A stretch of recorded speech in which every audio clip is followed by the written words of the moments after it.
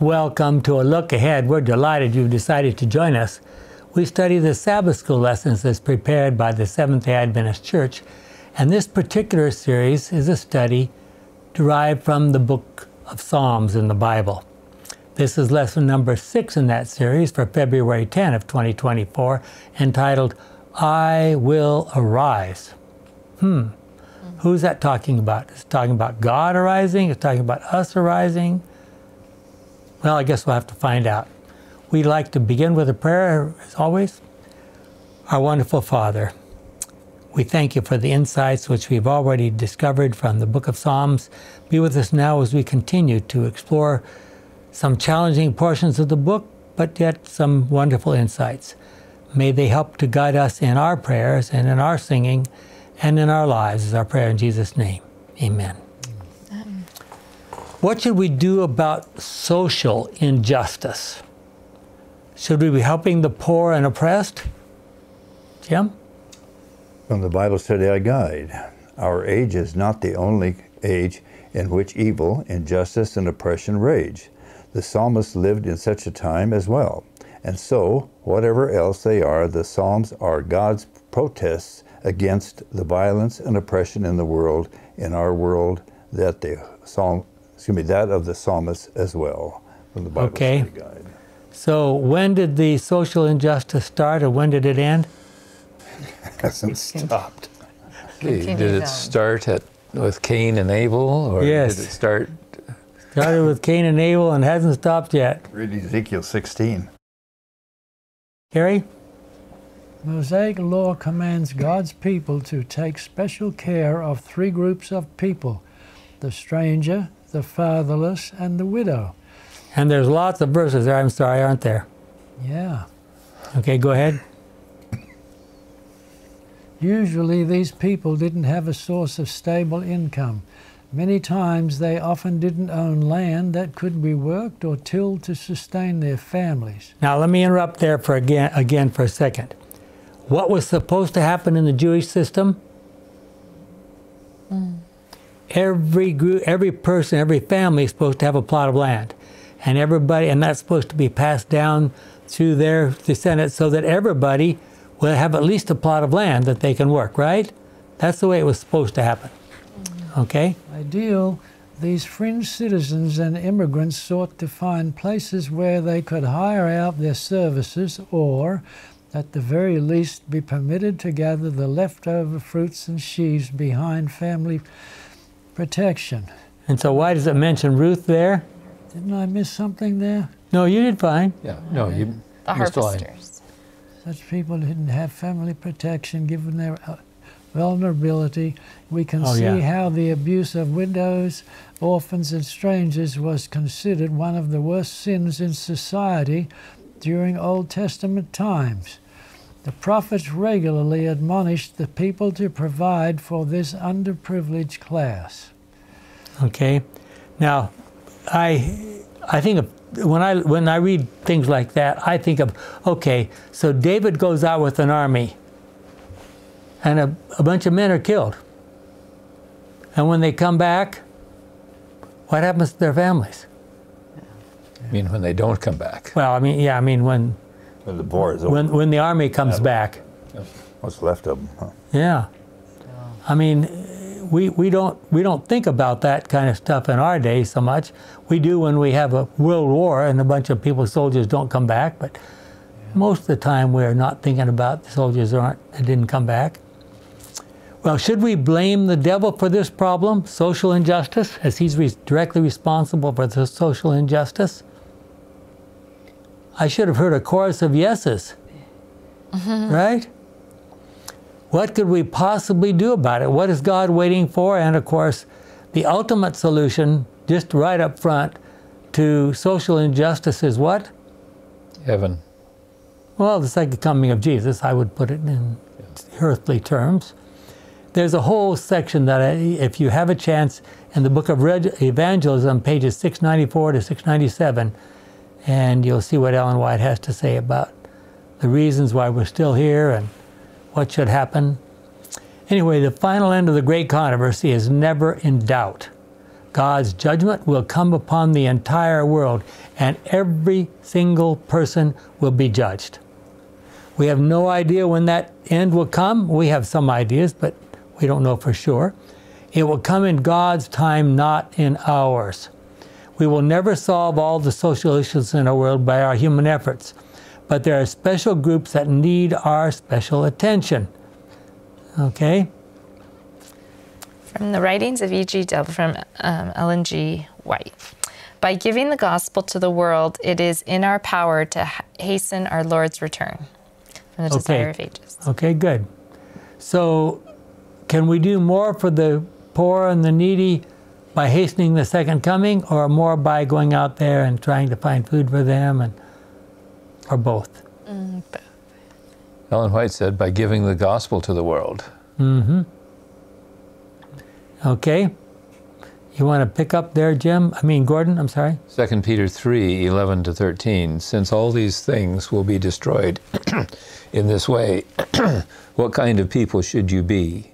Your lives should be holy and dedicated to God as you wait for the day of God and do your best to make it come soon, the day when the heavens will burn up and be destroyed, and the heavenly bodies will be melted by the heat.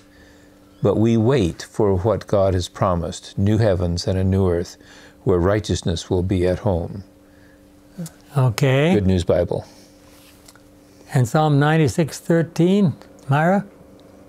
When the Lord comes to rule the earth, he will rule the peoples of the world with justice and fairness. Is that trying to imply that not everything is justice and fairness in our day? I think it's saying it straight out. yes. We know that God's judgment will be perfectly fair to everyone. Why do we know that? In fact, each one of us will, in effect, judge ourselves. How do we know that?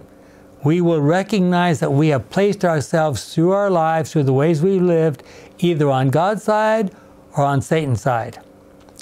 Every person who has ever lived will face the final judgment before, before God. While the devil is busy accusing us, this is Zechariah 3, Jesus is speaking for us, for his people, those who claim to be on his side, but he cannot lie about us or our behavior. So when Jesus is speaking up on our, on our behalf before the, the millions of, in the universe, what's he going to say about us? The truth. Yeah, they're terrible people, but The entire universe is watching with bated breath to see what the outcome will be, and that's, of course, Daniel 7 9 and 10. God's judgment will be absolutely fair. In fact, each one of us will ultimately choose for ourselves which side we want to be on. Is in this life that we prepare for the future life. The wicked and rebellious people are preparing for God's judgment. Okay? I think, Gordon, I think that's yours. from uh, the Great Controversy, a life of rebellion against God has unfitted them, that is, the wicked, for heaven. Its purity, holiness, and peace would be torture to them. The glory of God would be a consuming fire. They would long to flee from that holy place. Okay, I'm going to ask this, you to stop for just a moment. Why would a wonderful place like heaven be torture to the wicked? They're not comfortable there. Torture is a little bit different than not comfortable. Well, no, we, we get your point, okay? I mean, What if you had to be loving and kind in everything you did every day? That would be hard for some of us. Wow. Is that what we're talking about? There's a story told, and you've probably heard this, but there's a story told about a man who died and showed up at pearly gates where there was Peter keeps the, you know, the, theoretically keeps the gate there. And he says, the, he said, Peter says to him, is there anything you would like to go do or see before you come in here? Because if you come in here, you're here permanently. And the man says, well, honestly and truthfully, I, I really would like to know what's going on in that other hot place. And Peter says, okay, calls one of the angels up, says, take him down there and let him see what's going on down there. So off they go. And he shows up down there and here's all these people that look awful. They're skinny and bony and just look awful, and they're, they're sort of uh, rocking around like this, and there's no ambition and everything. And then all of a sudden, he hears this bell ringing. And he said to the angel that was guiding him, he says, What was that? He says, That's the dinner bell. And he says, The dinner bell? It doesn't look like these things have had anything to eat for years. He says, Oh, come and watch. So he charged over there, and here, the, here was this long building with a bunch of doors, and there's angels at the doors. And every person, as they walked in to this building, they were forced to put their arms out straight, and a, a, a tube was put over their arms like this on both sides. So he looks inside, and sure, believe it or not, on the, there's a table just set with all this wonderful food, and the people in there just, and, but they can't they can't bend their elbows. So after a few minutes, the bell rings again, and they got to leave, and they haven't. And nobody's had a bite. And the man says to his angel, he says, "That was awful. I mean, look at these people." And the angel said, "Well, just come with me." So they get up to heaven, and so they're just starting to move around a little bit, and he hears a bell ringing, and the man says, "What was that?" And the angel says, "Oh, that was dinner bell." He says, "Well, the people here look fine. What what's the difference?" So he said, come and see. And so you walk over to the building there, and it's a long building, and there's a few doors, and there are the angels with the tubes, and they're putting tubes on everybody's arms. And so he looks inside, and sure enough, there's everybody sitting down looking happy because each person is picking up the food and feeding the person on the other side of the table. so if, you, if you're thinking about the other person, then you're okay. But if you only think about yourself, you're in trouble. I'm sorry, you go ahead. So, uh, continuing with a great controversy, the glory of God would be a consuming fire. They would long to flee from that holy place. They would welcome destruction that they might be hidden from the face of Him who died to redeem them. The destiny of the wicked is fixed by their own choice. We kind of said that, didn't we? Yeah. Their exclusion from heaven is voluntary with themselves and just and merciful on the part of God. Great Controversy 542. So now heaven is self-selected. That's what it implies there, right? Yeah. Well, let's Very think much. about this now. So we we Adventists are absolutely opposed to the idea of an eternally burning hell. What about an eternally burning, tormenting heaven? God doesn't do that either, does he? If nobody was self-centered, it's going to be there. Would Be no sin. Yeah. Okay, go ahead. Even the devil will receive the just reward of that he of what he has chosen for himself. Myra? Okay. Mrs. White says, Satan sees that his voluntary rebellion has unfitted him for heaven. This used to be his home. Yes. Mm -hmm. But he's rebelled and he no longer wants that to be his home. Um, he has trained his powers to war against God. The purity, peace, and harmony of heaven would be to him supreme torture. Supreme torture. Yeah, we're not just That's torturing now, this is supreme. Huh? No. His accusations against the mercy and justice of God are now silenced. The reproach which he has endeavored to cast upon Jehovah rests wholly upon himself. And now Satan bows down and confesses the justice of his sentence. Great Controversy, page 6. And that is based directly on Philippians 2 5 through 11. We don't have time to read it right now, but right out of the Bible. So, do our lives today demonstrate clearly which side we have chosen for ourselves? And have we chosen the right side? As we have mentioned in earlier lessons, God's government not only punishes the sinners, but also rewards the righteous. So now we, in our, in our legal system here, the only people who tend to go to court are the ones who are in trouble. But in God's system, He rewards the righteous. Everybody gets judged. The righteous get benefit, and the, and the evil, the evil people go to their reward there's a twofold, so there's a twofold aspect of divine judgment. Uh, Psalm 7, 10 to 17, God is my protector. He saves those who obey him. God is a righteous judge and always condemns the wicked. See how wicked people think up evil, they plan trouble and practice deception, but in the traps they set for others, they themselves get caught. So they are punished by their own evil and are hurt by their own violence. I thank the Lord for his justice. I sing praises to the Lord, the Most High. And that's sort of repeated in the New Testament, isn't it, Jim? Romans 6:23 for sin pays its wage, death. But God's free gift is eternal life in union with Jesus Christ our Lord. Okay, isn't that pretty much what we just read in the psalm? Think of what a relief it will be for God to eliminate social injustice. Some Christians have a hard time recognizing God's condemnation of the wicked as an action of his loving character. Notice what, and of course, there are people out there who believe that God is just going to manage to save everybody. Notice what one of the psalmists said about this. Carrie? Psalm 18, verses 8 to 12. Smoke poured out of his nostrils, a consuming flame and burning coals from his mouth. He tore the sky apart and came down with a dark cloud under his feet. He flew swiftly on a winged creature. He traveled on the wings of the wind. He covered himself with darkness. Thick clouds full of water surrounded him.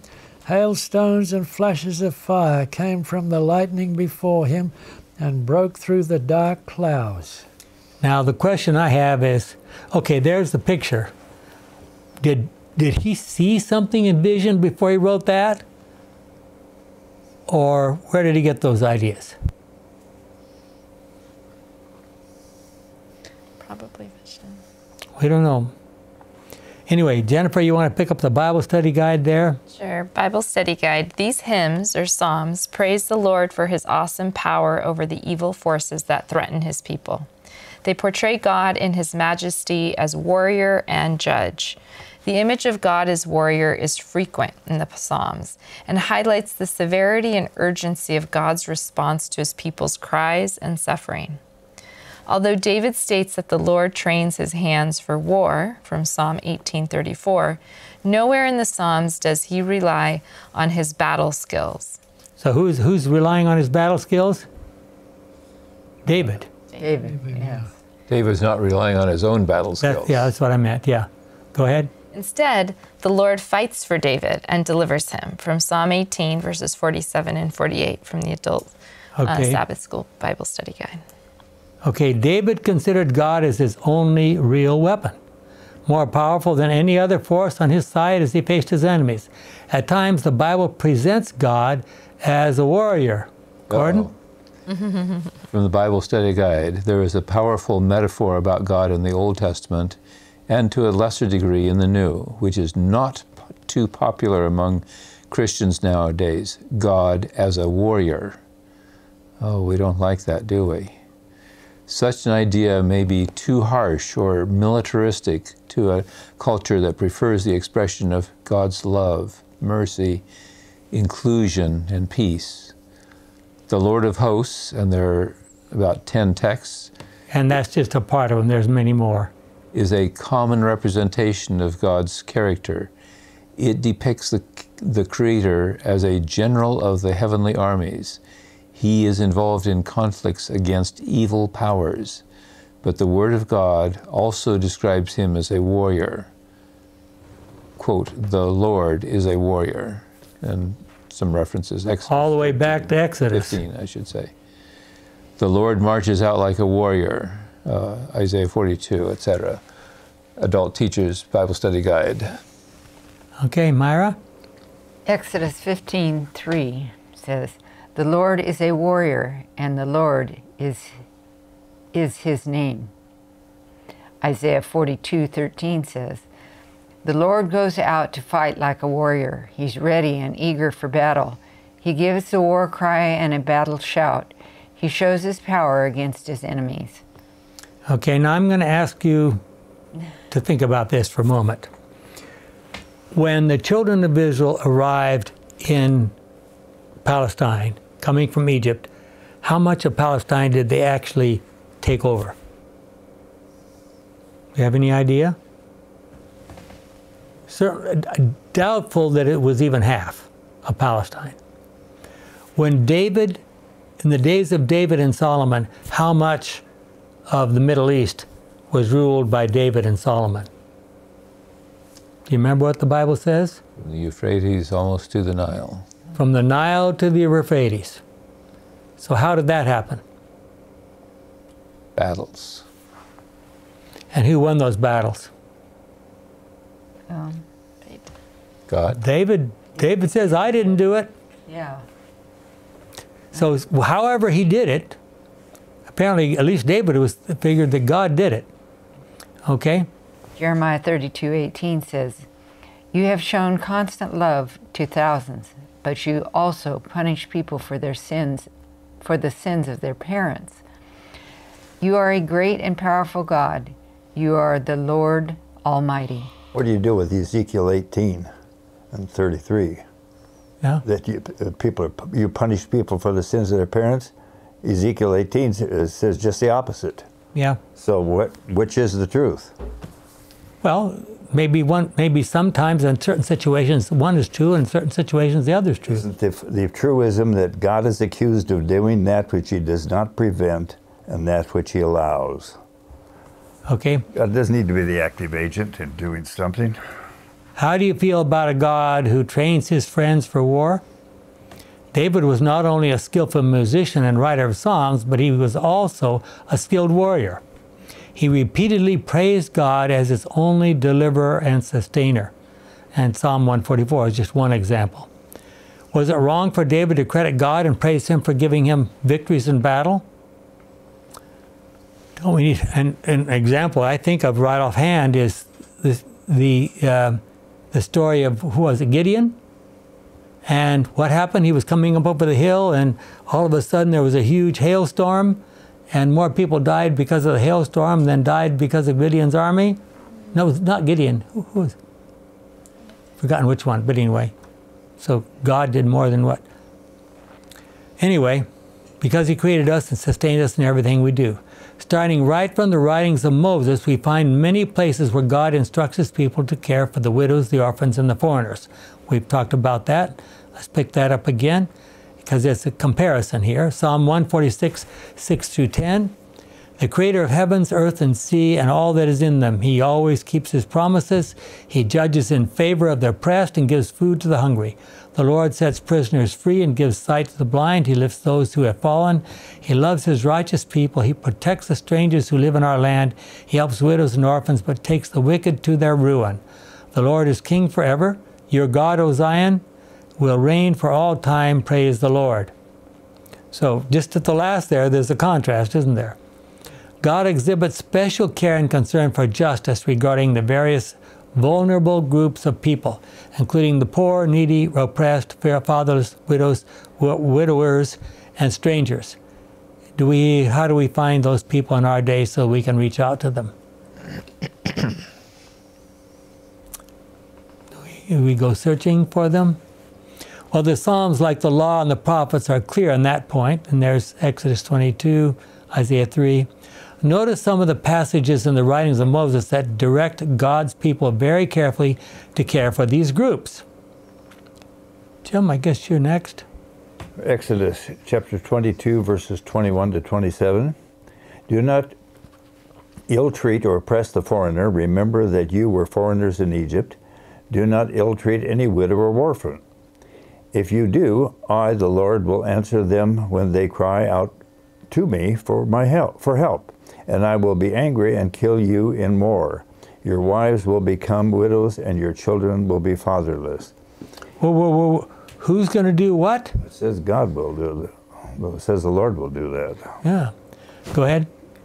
If you lend, excuse me, if you lend money to any of my people who are poor, do not act like a money lender and require him to pay interest. If you take someone's cloak as a pledge that he may pay you, you must give it back to him before the sun sets, because it is the only covering he has to keep him warm. What else can he sleep in? When he cries out to me for help, I will answer him because I am merciful.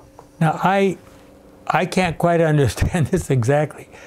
Someone's, you take someone's coat as a pledge that he will pay it back. but you give it back to him at sunset? Does that He mean says, don't give it, don't ask for a pledge, is basically what he's saying. But if you think you got to have one, While God very specifically tells the children of Israel to care for the poor and needy among their own, He also instructs them to instructs them to care for foreigners who were in troubles in, in trouble as well. We need to recognize that the poor and needy are not just people who are suffering from material poverty. These people are people who may be vulnerable and helpless, and God's compassion extends to all of His children throughout the world. Deuteronomy 15, Carrie? verses 7 through 11. If in any of the towns in the land that the Lord your God is giving you there is a fellow Israelite in need, then do not be selfish and refuse to help him. Instead, be generous and lend him as much as he needs. Do not refuse to lend him something just because, where am I? Because the year when debts are canceled is near. Remember what happened there? Every seven years, all debts were, debts were canceled and people were given back their original property, even if they had sold it for because that, to get out of debt or whatever, back to their own property. Mm-hmm. Okay? Okay, do not let such an evil thought enter your mind. If you refuse to make the loan, he will cry out to the Lord against you, and you will be held guilty. Give to him freely uh, and unselfishly, and the Lord will bless you, bless you in everything you do. There will always be some Israelites who are poor and in need, and so I command you to be generous to them. Okay, so would that work in our in our society today? I think some areas they do. If you look on the news, that Jewish lady, she's working hard to get food and stuff in the middle of some of that war. Yeah, the Jews, some of the Jews do this for the Jews. Yeah. What about the rest of us? Are we doing it? Some nations in the world have social programs to try to help the vulnerable and those in poverty, and we know about that. However, we as Christians should do what we can to help them even beyond what they may get from the government. 2 Corinthians 8 and 9 and uh, some other passages. How often do we think about the poor and needy in our daily lives? Jennifer, you probably think about them often because of the kind of people you have to take care of, right? God has spoken against the unjust actions of some of those put in authority. Using very strong language, God expects His chosen leaders to care for the socially disadvantaged. Okay? Jennifer? Um, Psalm chapter 72, verses 12 through 14. He rescues the poor, he rescues the poor who call to him, and those who are needy and neglected. He has pity on the weak and poor, he saves the lives of those in need. He rescues them from oppression and violence. Their lives are precious to him. From the Good News Bible. Okay, there's a remarkable passage in Scripture that Jesus quotes part of it, found in Psalm 82. In this psalm, God, through the psalmist, spoke out against leaders who pervert justice and oppress the poor people they were tasked to protect. Gordon? Psalms 82, starting with verse 1 God presides in the heavenly council. In the assembly of the gods, he gives his decision. You must stop judging unjustly. You must no longer be partial to the wicked. Defend the rights of the poor and the orphans. Be fair to the needy and the helpless. Rescue them from the power of the wicked. How ignorant you are, how stupid. You are, com- you are completely corrupt, and justice has disappeared from the world. Okay, so who's he talking to? His people, What? the Israelites. Well, but specifically, what group of the Israelites? These are the judges, aren't they? Yeah. Okay, what do they say? Verse 6 You are gods, I said. All of you are children of the Most High, but you will. But you will die like mortals. Your life will end like that of any prince. Come, O God, and rule the world. All the nations are yours. Good News Bible. Okay, Myra, there's a ex- an interesting explanation here. Okay, Bible Study Guide says In Psalms 82, God declares his judgments upon Israel's corrupt judges. The quote, gods in Psalm 82 1 and 6 are clearly neither pagan gods nor angels because they are never tasked with delivering justice to God's people and so could not be judged for not fulfilling it. The charges against list, the charges listed in Psalms 82 2 to 4 echo the laws of the Torah, identifying the gods as Israel's leaders. And we don't have time, but we could go back and we could see Yeah, there's Deuteronomy. It's all spelled out there. Yeah. God questions the sons of man, men, whether they judge justly, and their punishment is announced because they have fa- been found unrighteous. The leaders totter in darkness without knowledge, because they have abandoned God's law, the light. That's Psalms 19, and that's from the Bible Study Guide for Tuesday. Okay, let's look briefly at some of those Deuteronomy passages from the writings of Moses, Deuteronomy 1 16 to 18. At that time I instructed them, listen to the disputes that come up among your people. Judge every dispute fairly, whether it concerns only your own people or involves foreigners who live among you. Show no partiality in your decisions. Judge everyone on the same basis, no matter who they are. Do not be afraid of anyone, for the decisions you make come from God. If any, so notice this: the decisions you make come from where? From God. If any, and if any case is too difficult for you, bring it to me, and I will decide it. And so remember, they had that system where there was judges over 10, judges over 50, judges over thousands, and then ultimately it went to Moses. And if Moses had a question, he took it to God. So there was, you know, it went right up that way. At the same time, I give you instructions for everything else you were to gave you instructions for everything else you were to do. The judges who acted on behalf of God were acting in God's place. That was why they were called gods. As we know, God is the only true God and sustainer of the entire universe. No human leader can operate outside of his ultimate control. But think of how many corrupt leaders there are, there have been down through the generations, from the Caesar, Caesars, and back in those days to the 20th century. Think of Stalin, Mao, Hitler, and the present that have done so much evil. Millions and millions of people killed. Psalm 82 mockingly exposes the apostasy of some leaders who believe themselves to be gods above other people. Although God gave the authority and the privilege to the Israelite leaders to be called the children of the Most High and to rep- represent Him, God renounces the wicked leaders. God reminds them that they are mortally, mortal and subject to the same moral laws as all people. No one is above God's law. From our Sabbath School Bible Study Guide. Do you exercise any kind of authority over other human beings? Gordon, you're a physician. What about this? Are you exercising that authority with fairness, justice, and love? When a doctor holds the life of a patient in his skillful hands, skilled hands, is he not acting in God's place toward that patient? What do you do when you monitor surgical cases? Do the best I can. Yeah, okay, but you have some words to say to the surgeon sometimes, don't you? Go back. Reverse. Reverse. Don't do that. You're getting too close to some very important sub uh, things in the body, right? Some psalmists used very strong and harsh language about their enemies. Uh, Jim, Psalm 94? Psalm 94, verses 1 and 2. The Lord, excuse me, Lord, are you a God who punishes? Reveal your anger. You are judge of all. Rise and give the proud what they deserve. Good News Bible. Some psalms ask God to take vengeance while Jesus told us to pray for our enemies. Carrie? Some Psalms beseech God to take vengeance on individuals and nations who intend to harm or who have already harmed the psalmist or their people. These Psalms can sound perplexing because of their harsh language and the apparent discord with the biblical principle of love for enemies. From Matthew 5:44. And we all know that verse, right?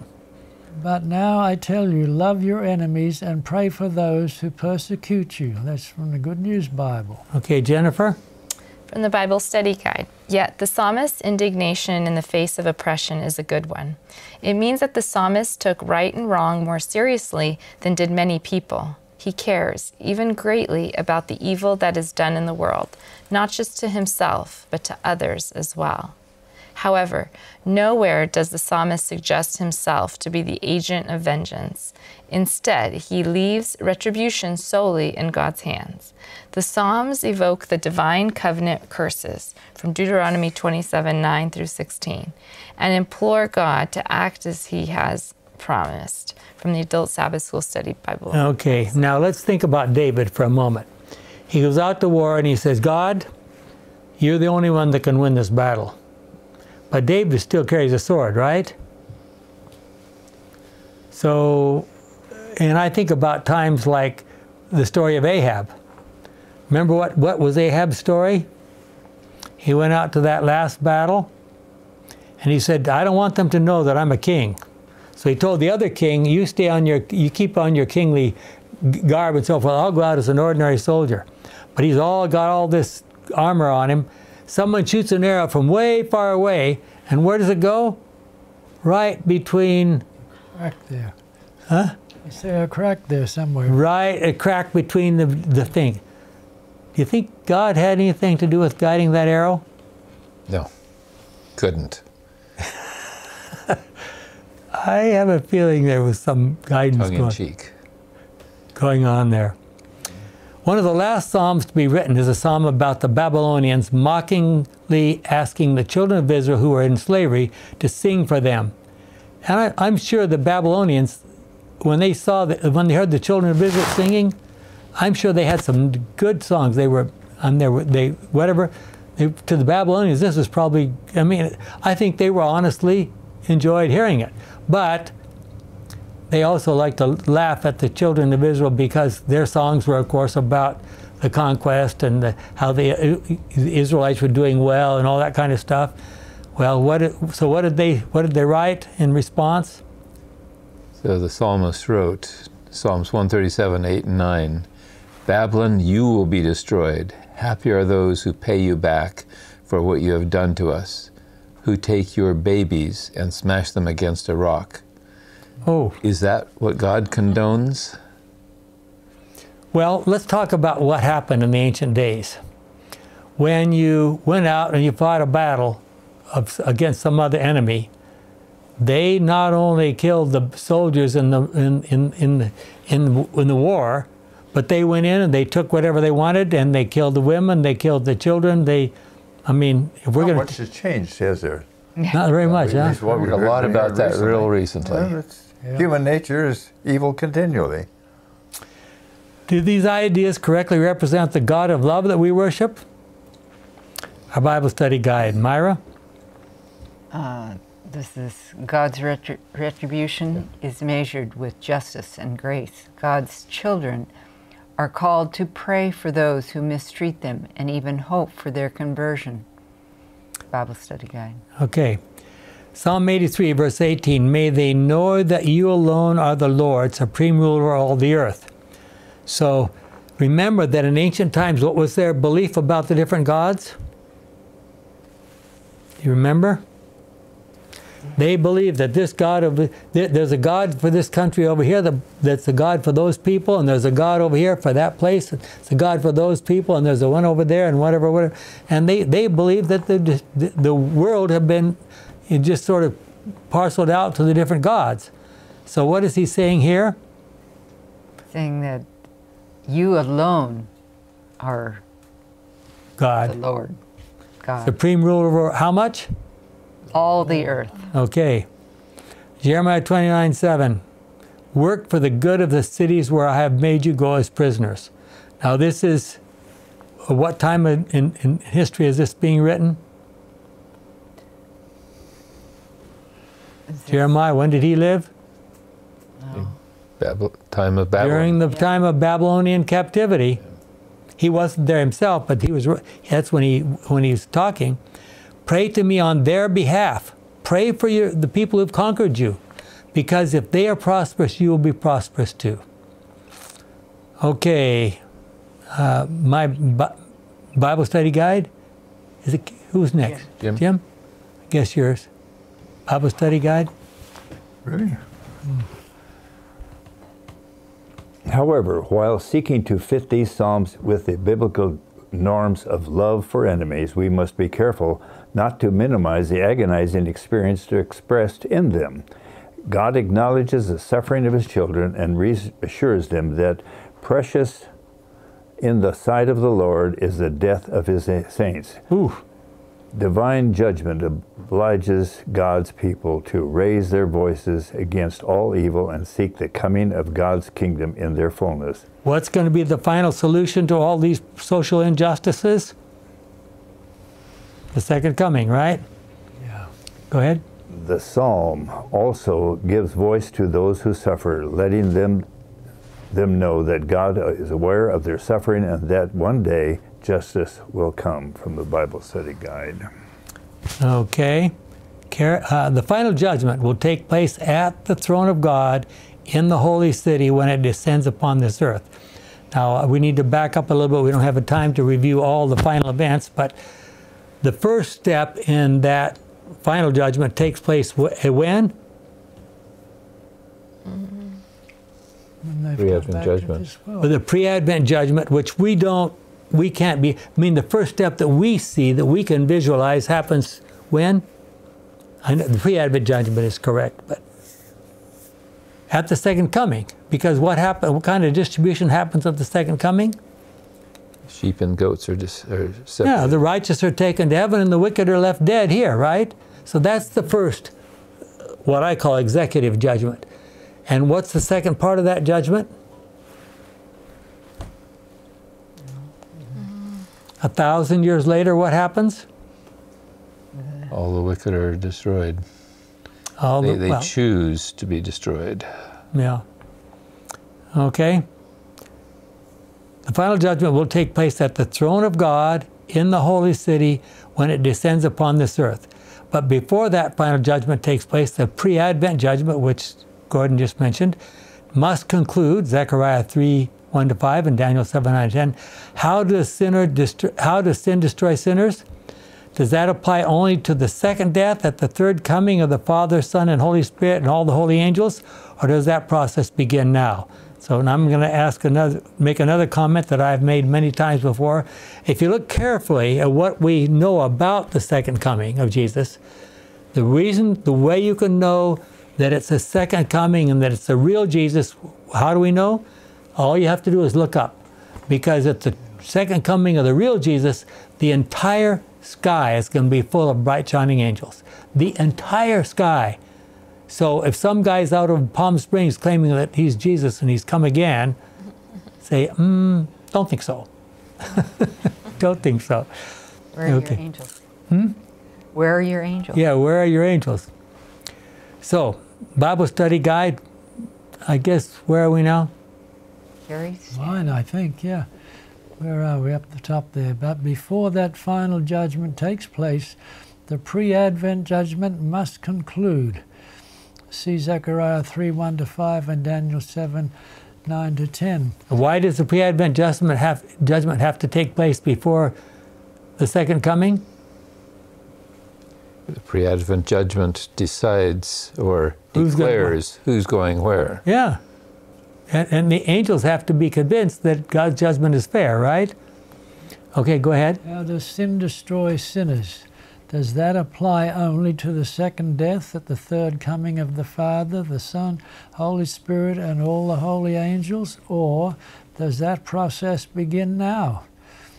Yet the God who forgives takes vengeance on the wicked deeds of unrepentant people. That's okay. from the Bible Study Guide. 99.8 O Lord our God, you answered your people. You showed them that you are a God who forgives, even though you punish them for their sins. That's the good news Bible. And there's plenty of evidence for that in the Old Testament, isn't it? Think of all the problems that the children of Israel got into when they rebelled against God. The final judgment takes place on two separate occasions, 1,000 years apart. Step one occurs at the second coming when the righteous will be taken to heaven and the wicked will be left dead on this earth. And then what comes next, Jennifer? Revelation 11:18. The heathen were filled with rage because the time for your anger has come, the time for the dead to be judged. The time has come to reward your servants, the prophets, and all your people, all who have reverence for you, great and small alike. The time has come to destroy those who destroy the earth. From the Good News Bible. Now, I have a friend who recently uh, written a piece for a new series, Bible commentary series coming out, mm. about social injustice and how that applies to how the Bible deals with that. What do you suppose he wrote about the time has come to destroy those who destroy the earth? Does that sound like anything you might hear in the news these days? There's a lot of people who think that we got to do this and that and the other, otherwise the whole world is going to come unglued, etc. It's called global warming. Global warming, yeah. Or is it global cooling? Well, some sides, one side's going to warm and the other side's going to cool, maybe. these words, words, I'm sorry, do these words mean that God is to destroy the wicked or does sin destroy the wicked? Remember Romans 6.23 quoted in number 10. What does it say again? Sin pays its wage. Yeah, sin death. pays its wage, death. And remember, we have this assurance, Romans 8.34. Who then will condemn them? Not Christ Jesus who died, or rather who was raised to life and is at the right hand side of God, pleading with him for us. Good News Bible. Okay, you want Bible, to go ahead with the. The Bible Study Guide says the Psalms are protests against human indifference to injustice. They are a refusal to accept evil. They are motivated not by a desire for revenge, but by a zeal to glorify God's name. Okay, why would that be true? Think back to Israelite times just as an example. How did God's name get glorified in the time in the names in the times of the Israelites? Not very often, but when God worked with them to do marvelous things, right? When they was God, was God's name glorified when He worked with them to get them out of Egypt? Yeah, right. So, on those few occasions when they were doing what they were supposed to do, and in the times of David, for example, God's name was glorified because they were doing what they were supposed to be doing. Okay, go ahead. Hence, it is fitting for the righteous to rejoice when they see God's vengeance on evil, because in this way God's name and his justice are restored in the world. Do we really agree with that? Just asking. I'm just asking. Yeah. The Psalms oblige people to well, raise. Okay, let's let's um, let me. If God's people are doing what they're supposed to be doing at a given point in time, does God's name get glorified? Yes. Yeah. Mm-hmm. yeah. What is what did Jesus say? You're supposed to be like a light not under the bushel. You're supposed to be like a city set on a hill. Okay, go ahead. The Psalms oblige people to raise their voices against evil and to seek the coming of God's people, pardon me, coming of God's kingdom in its fullness. In the Psalms, we are given assurance of divine comfort and deliverance. The Lord will arise. Bible Study Guide for Friday. And that is where we got our title for this lesson, right? Yep. Okay. Psalms 58, 10, and 11 says, The righteous will be glad when they see sinners punished. They will wade through the blood of the wicked. People will say, The righteous are indeed rewarded. There is indeed a God that judges the world. Okay, how, what are we going to do with that passage? I, I, have a hard time with that one. What do you do with the passage that says, uh, Jesus says, I judge no one, but it's the words that I have spoken will mm-hmm. be your judge. Yeah. Okay. He's already told, you, told you what, how life works. Okay, so in this context, we don't know, do we know who, I'm not sure we know who wrote Psalm 58. What, what do you suppose they were thinking to try to just understand it? No idea? Not knowing where what I, it just the the graphicness of wading through the blood of the wicked is Sounds a bit like, like Revelation, doesn't it? Mm-hmm. What about the blood as high as the bridles, the horses' bridles? That's what I'm referring to. Yeah. Well, I don't know. I don't know. Maybe David wrote this psalm. Um, and what would you, if you're winning a battle, in the old days, I mean, it was your sword against somebody else's sword, or your arrow against somebody else's arrow. Maybe this is the way it happened. I mean, it, it sounds horrific to us. Mm-hmm. and the righteous will be glad when the sinners are punished. Maybe we un- misun- or can we underestimate the influence that Ezra had on this. mat- On this. Ezra didn't live till many years after this. This I understand that, but he edited a good chunk of what, what we have in the Old Testament, and uh, he was using it as a as a code book of, to keep people in line. It was a uh, scare the daylights out of them, and uh, Okay, to what do we have to look forward? See, I guess that's mine. Yep. When men shall revile you and persecute you, said Jesus, rejoice and be exceeding glad. And he pointed his hearers to the prophets who had spoken in the name of the Lord as an example of suffering affliction and of patience. James 5:10. Abel, the very first Christian of Adam's children, died a martyr. Enoch walked with God and the world knew him not. Noah was mocked as a lunatic and alarmist. Others had trial of cruel mockings and scourgings, yea, moreover, of bonds and imprisonment. Others were tortured, not accepting deliverance, that they might obtain a better resurrection. Hebrews 11. And of course, what's in the whole chapter of Hebrews 11 is about what?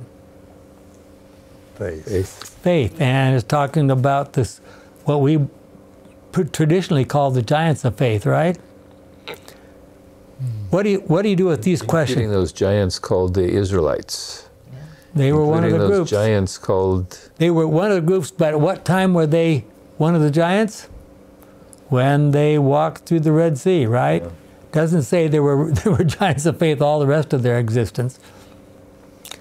Well, consider these questions listed in the Bible study guide. Because the painful realization of the evil in the world can cause one to wonder whether the Lord actually reigns, how can we grow an unshakable faith that will stand strong even under temptation? I mean, you look around at what's hap- happening in the world, to say, oh, yeah, it's easy to have faith in God. And obviously, God is in control, right?